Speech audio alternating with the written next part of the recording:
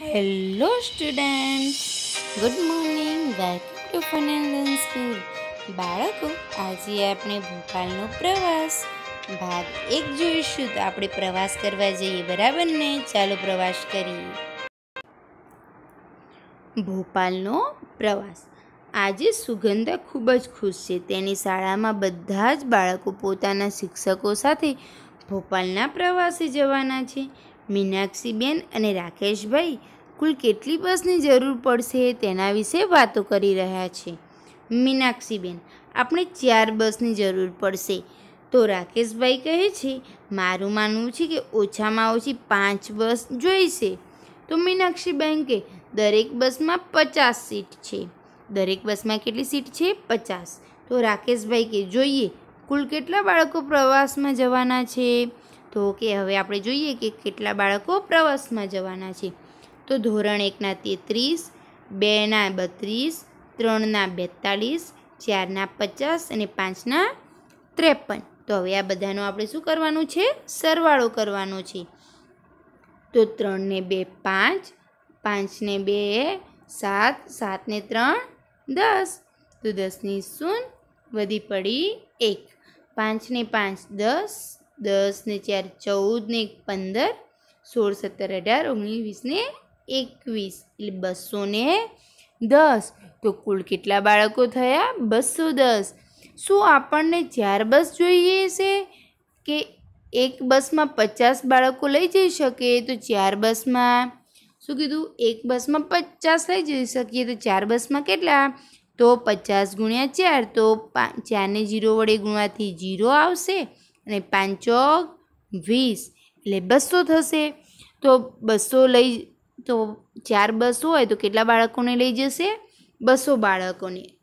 તો આપણે કેટલે? પાંચ, ચાર બસમાં તો બાળકો ખૂટશે. એટલે કે કુલ ખાલી જગ્યા બાળકો જાય તો કેટલા જશે? બસો ને દસ બાળકો પેલામાં જાય છે અને ચાર કરીએ તો બસો. જો તેઓને ચાર બસ મળે તો કુલ કેટલા બાળકો બેસવાની જગ્યા મળે? તો કેટલા બાળકોની જગ્યા મળે? બસો બાળકોની. શું કોઈ બાળક એવું રહે જેને બસની સીટ ન મળે? હા, દસ બાળકો એવા રહેશે. માત્ર થોડાક બાળકો માટે આપણે આખી બસ નહીં નહીં મળી શકે. હવે દસ બાળકો માટે આખી બસ મળે? ન મળે. આપણે સીટ વહેંચી દઈશું. કે આપણે શું કહીશું? સીટ વહેંચી લઈશું. હવે બસની પ્રતીક્ષા હવે શું કરે છે? બસની પ્રતીક્ષા એટલે રાહ જુએ છે. સાહેબા, બસો આવી કે નહીં? તે જુવા કૂદીને લાઈનની બહાર આવી. તે જોરથી બૂમ પાડે છે કે, હે, હું બસો જોઈ શકું છું. દોડો, બારી પાસેની સીટ લેવા. ઘણા બાળકો આનંદથી કૂદવા પણ લાગ્યા. તો જો આમાં એક લાંબી થઈને જોયું કે બસો આવી રહી છે અને બધા કૂદવા લાગ્યા, બસો આવી ગઈ. થોભો આ શું? આ બધી બસો તો બહુ નાની છે. એટલે કે એક મિનિટ, કે આ તો બસો કેવી છે? બહુ નાની નાની છે. બધા દલીલો કરવા લાગ્યા, બધા એકબીજાની જોડે ચર્ચા કરવા લાગ્યા, આવી બસ, આમ તેમ, તમે કરો ને. અમારી પાસે મોટી બસ પૂરતી સંખ્યામાં ન હતી, તેથી અમે નાની બસ વધારે લાવ્યા. શું કીધું? કે અમારી પાસે મોટી બસો કે પૂરતી નથી, એટલે અમે કેવી બસો લાવ્યા? નાની બસો લાવ્યા. પણ કેવી લાવ્યા? વધારે લાવ્યા. દેખાય છે ને ચિત્રમાં? બસો કેટલી? વધારે છે. દરેકે નાની બસમાં પાંત્રીસ વિદ્યાર્થીઓને લઈ જઈ શકાય. તો કુલ કેટલી નાની બસો જોઈએ? તો એક બસમાં કેટલા? પાંત્રીસ બાળકો થાય. તો આપણે કેટલા, કેટલી બસો જોઈશે? તો આપણે બાળકો કેટલા હતા? બસો ને દસ. તો આપણે શું કરવું પડે? એને પાંત્રીસ વડે ભાગી દેવા જોઈએ. ચાલો હવે ઝડપથી અંદર આવી જાઓ. નવ વાગી ગયા છે. તો કે નવ વાગી ગયા છે. હવે બાળકોને શું ફટાફટ અંદર બેસવાનું છે? કેમ? કારણ કે બસ આવી ગઈ છે. પછી પ્રવાસમાં મોડું થઈ જાય ને? બસની શરૂઆત. જેવી બસ ઉપડી, બધા બાળકો મોટેથી ગીતો ગાવા લાગ્યા. કેટલાક બાળકો બારીમાંથી બહાર હરિયાળા ખેતરો, ટેકરીઓ જોવું જોઈ રહ્યા હતા. ઇન્દ્ર, આપણે ક્યારે ભોપાલ પહોંચીશું, આશાબેન? જો આપણે ક્યાંય પણ રોકાયા વગર જઈએ, તો બે કલાકમાં ભોપાલ પહોંચી જઈશું. એટલે ખાલી જગ્યા વાગ્યાની આસપાસ. એટલે ઉપડ્યા હતા કેટલા વાગે? નવ વાગ્યા અને કેટલા કલાક થશે? બે કલાક. તો નવ કલાકમાં બે કલાક ઉમેરીએ. એટલે કેટલા થઈ જાય? અગિયાર. તો કેટલા વાગે પહોંચી જશે? અગિયાર વાગે લગભગ પહોંચી જાય. મનજીત, શું એ બહુ દૂર છે? એટલે કે બહુ બધું દૂર છે? એટલે ભીમસેનભાઈ કહે છે, લગભગ સિત્તેર કિલોમીટર. તો રૂબી કહે છે, શું આપણે ક્યાં ઊભા રહેવાના છીએ? તો રાકેશભાઈ, હા, કદાચ ભીમબેટકા જે અહીંથી પચાસ કિમી દૂર છે. એટલે કે, હા, લગભગ અહીંયાથી પચાસ કિમી દૂર ભીમબેટકા આવેલું છે ત્યાં આપણે ઊભા રહીશું. જો તેઓ ભીમબેટકા જાય, તો ત્યાં પહોંચશે દસ વાગ્યા પહેલાં, દસથી અગિયાર વાગ્યાની વચ્ચે કે અગિયાર વાગ્યા પછી. કેટલા વાગે પહોંચશે? બોલો તો તમે. તો દસથી અગિયાર વાગ્યાની વચ્ચે રહ્યા ભીમબેટકા પહોંચી જશે. બધા વાતો કરી રહ્યા હતા. ત્યાં બહાદુરે બૂમ પાડી.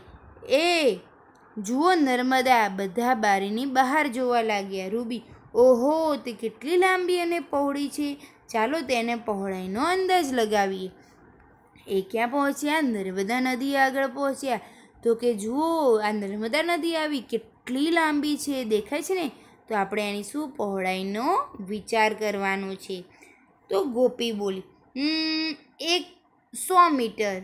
ના, એનાથી પણ વધારે ન કહી શકાય. તો વિક્ટોરિયા કે અડધો કિલોમીટરથી વધારે છે. તો આશાબહેન, જુઓ, ત્યાં લખ્યું છે, આ પુલ સાતસો છપ્પન પોઈન્ટ બ્યાસી મીટર લાંબો છે. કેટલો પુલ લાંબો છે? સાતસો છપ્પન પોઈન્ટ બ્યાસી મીટર.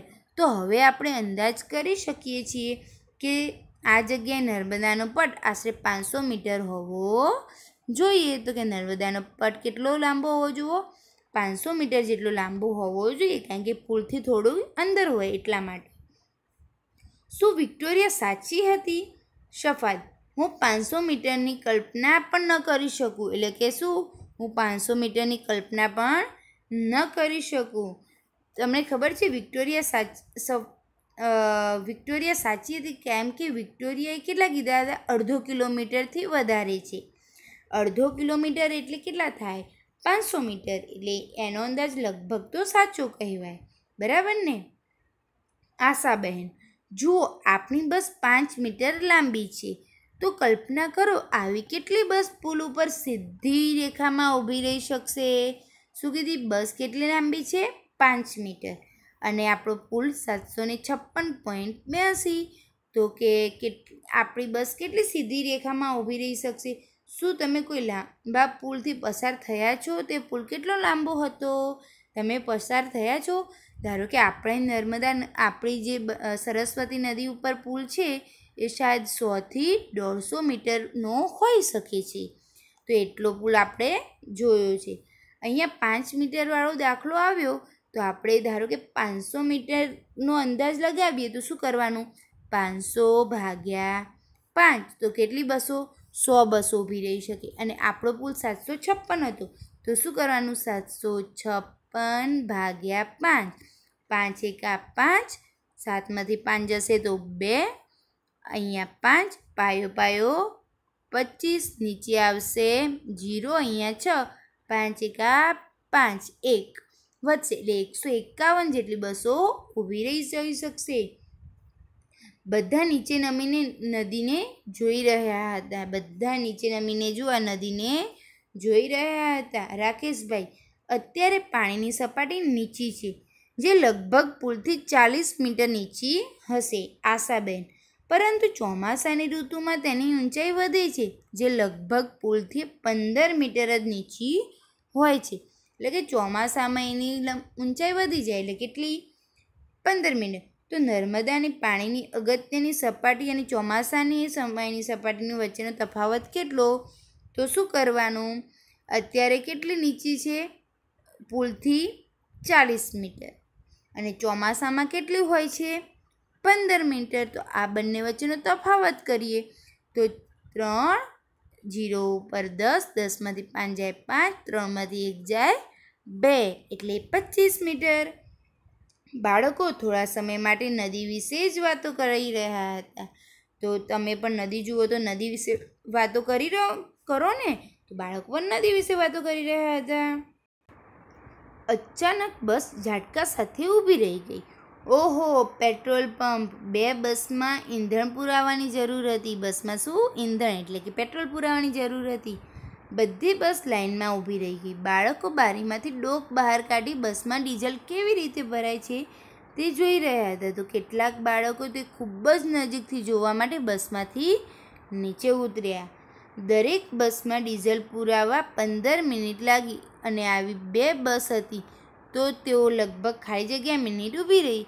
તો એક બસને ડીઝલ પુરાવા પંદર મિનિટ લાગી. તો બે બસને કેટલી? તો પંદર ગુણ્યા બે, એટલે કેટલી મિનિટ? ત્રીસ મિનિટ માટે ઊભા રહ્યા. મતલબ કે ત્રીસ મિનિટ મોડા પડશે. તો બાળકો, કેટલા મિનિટ મોડા પડશે? ત્રીસ મિનિટ. ઓહો, બસનું પેટ તો બહુ મોટું છે. સો લીટર થઈ ગયું. કે બસનું પેટ તો બહુ મોટું છે. કેટલા લીટર થઈ ગયું? સો લીટર ભરાઈ ગયું. તો આપણે પાંચ હજાર પાંચસો રૂપિયા ડીઝલના ચૂકવવા પડશે. તો પેલા એને શું કીધું કે કેટલા રૂપિયા ચૂકવવા પડશે? ડીઝલના પાંચ હજાર પાંચસો રૂપિયા ચૂકવવા પડશે.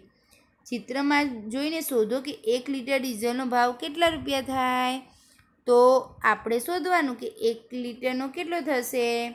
બરાબર ને? તો સો લીટરના આપણે દાખલો કેવી રીતે ગણીશું? સો લીટરના કેટલા થયા? પાંચ હજાર પાંચસો. તો એક લીટરના કેટલા? ચોકડી ગુણાકાર કરવો પડે તો ચાલો હું તમને ચોકડી ગુણાકાર કરતા શીખવું. તો બાળકો, આપણું સો લીટર શું હતું? ડીઝલ. અને કેટલા રૂપિયા થયા છે? પાંચ હજાર પાંચસો રૂપિયા. તો આપણે કેટલા? એક લીટરનો ભાવ શોધવાનો. તો એક લીટરનો કેટલો? જુઓ લીટરની નીચે લીટર અને પૈસાની નીચે પૈસા. આપણે પૈસા શોધવાના છે. તો ઉપર લખી દઈએ લીટર અહીંયા રૂપિયા. તો કેટલા લીટર હતા? સો લીટર. અને હતા પૈસા પાંચ હજાર પાંચસો. અને એક લીટરના કેટલા? તો હવે ક્રોસમાં ગુણાકાર. તો પાંચ હજાર પાંચસો ગુણ્યા એક. અને આ સંખ્યા ક્યાં જતી રહે? ભાગાકારમાં. તો પાંચ હજાર પાંચસો ગુણ્યા એક ભાગ્યા સો. જીરો જીરો જીરો જીરો ઉડી જશે. અને કોઈ બી સંખ્યાને એક વડે ભાગીએ તો જવાબ આવે એનો એ જ અને એક સાથે ગુણાકાર કરવાથી એનો આવે તો આપણો જવાબ આવશે પંચાવન રૂપિયા. તો એક લીટરના કેટલા થશે? પંચાવન રૂપિયા. તો ખબર પડી ગઈ ને બાળકો? આવી રીતે ચોકડી ગુણાકાર કરાય. અને હવે આગળનું આપણે આગળના ભાગમાં જોઈશું. Bye bye.